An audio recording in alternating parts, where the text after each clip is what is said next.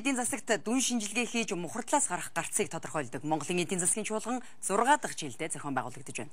Чуулганд оролцогч 600 гаруй төлөөлөл эхний өдөр өнөөгийн эдийн засгийн хүндрэлийн шалтгааныг тодорхойлж засаглал, уур амьсгалын өөрчлөлт, нийгмийн хөгжил, мэдээллийн ёс зүй, санхүүгийн болон үйл хөдлөх хөрөнгийн салбарын өнгөрсөн ирээдүйг хэлэлцжээ.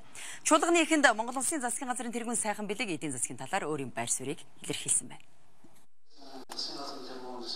Эдийн засаг хүндэрсэн байгаа энэ үед зохион байгуулагдаж байгаагаараа энэ удаагийн чуулган онцлог болж байна.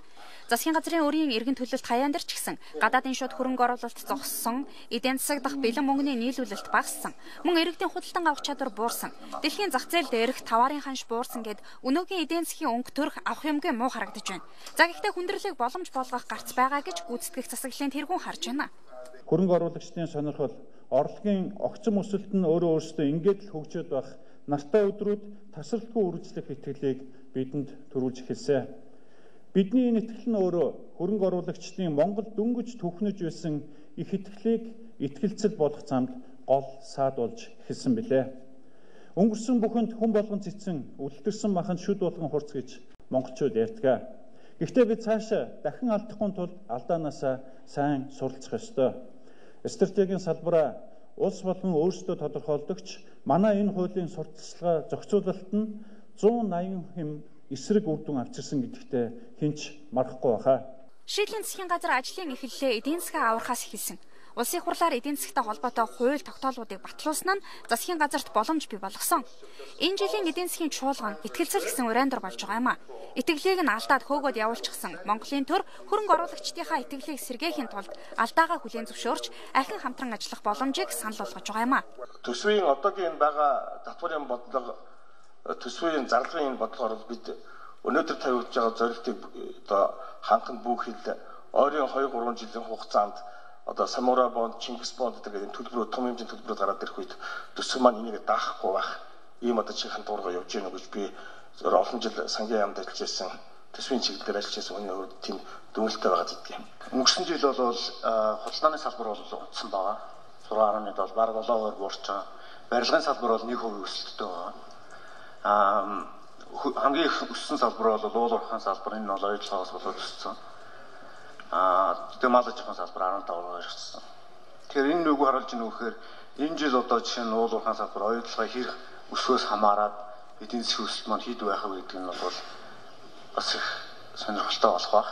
Эргээд харах юм бол энэ эдийн засгийн өсөлтөд бид нар бууралтын зөөлөн газардах гэсэн ерөнхий нийт замын дотор явж байгаа жилийн 4%-аар хурдаас харуулж явж байгаа. Тэгээ одоо нэг 7% дээр ирчихэд эрхчлийн төсөл дээр бид нар одоо янз бүрийн төсөлтөд сууж ил Аз хөгжлийн банк чинь 3 гэж байна. Дэлхийн банк тэр хавцаа бидний харж байгаагаар нэг 5 хавцаа. За ингээд иймэрхүү төсөөллүүд дээр бид сууж ил мэдээж хон эхлээд нэг улирал боллоо. Төсөөл дотороор ч өөрчлөлт үүсэж байна. Манай яамны зүгээс одоо бас өрийн дунд хугацааны стратеги төлөвлөгөөг боловсруулжээ. За энэ төлөвлөгөөний хувьд бол үндсэндээ одоо үүссэн байгаа Монгол Улсын засгийн газрын үрийг хэрхэн одоо төлж барагдуулах вэ гэдэг дээр дунд хугацааны стратеги төлөвлөгөөг боловсруулж заашгуудыг хурлаар батлуулж ажиллахын шаардлага бий. Урьдчилсан байдлаар зүгээр энийг харахад бол манай улсын хувьд бол энэ ойрын хугацаанд төлөгдөх энэ хоёр бондын одоо үрийг бол төлнө гэхэд бол нэг талдаа нөөц бүрдүүлж төлнө гэхэд бол маш хүнд ийм болцоо боломж бол ер нь баг гарахгүй байх гэж бодож байгаа. Өрийн удирдлагын тухай хууль батлагдсанаар Монгол улсад эдийн засагтаа мөнгө оруулах хэд хэдэн боломжийг нээж өгсөн юм. Засгийн газар 600 сая Америк долларын зээл авах боломж нэгдсэн.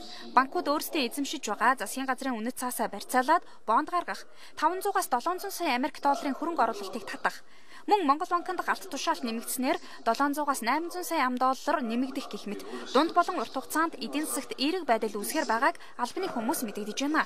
Харин улс төр бизнесийн салбарынхан эдийн засгийн энэ хүндрэлийг засаглалын хямралаа гэж тодорхойлж байгаа юм.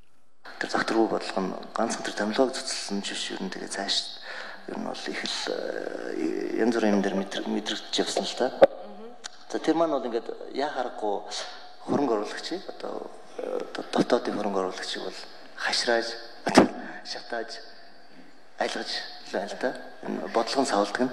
Би хувьдаа бол энэ бол зөвхөн нэг удаагийн бодлогын алдаа бол биш. Энэ ерөөсөө урт хугацаанд бид нар бүр илүү том дүгнэлт хийх хэрэгтэй зоригтойгоор 92 оноод онд бид одоо шинэ үндсэн уялдаа болсон өнөөдрийг хүртэл нь хэрэгжсэн 23 жилийн хугацаанд ерөөсөө манай энэ тогтолцоо маань өөрөө бас асуудалтай тийм ээ үндсэн уялын одоо хүрээнд эрх мэдлийн хуваарлалт хууль тогтоох гүйцэтгэх ялангуяа засаглалын хоорондын харилцаа өөрөө зөв тэнцвэртэй биш. Инээс болоод хариуцлагын тогтолцоо маш одоо ойлгомжгүй болсон. Нутгийн өөрөө өдөр төгсний сонгуул бол шууд бус утгаараа 1992 оны шиг нь бол зүйтэй юм байна. Ерөнхийлөгчөө парламентаас сонгодог болчих юм бол Монгол улс бол 4 жилд нэг удаа сонгуул хийдэг ийм систем рүү шилжих юм байна. За мэдээж парламентын гишүүдийн тоо, парламентын хугацааны талаар бол бас санс үлдсэн зүйлүүд бол байгаа. Мөнгөтэй байсан үедээ хуримтлуулж чадаагүй монголчууд хүндрэлийн өмнөөс зөв бодлогоор сүрж зогсож чадна гэж эдийн засгийн чуулганд оролцогчдод дүгнэж байна.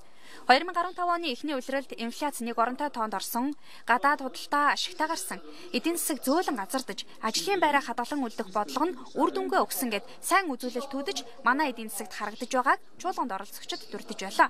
Монголын эдийн засгийн чуулган маргааш үргэлжлэнэ.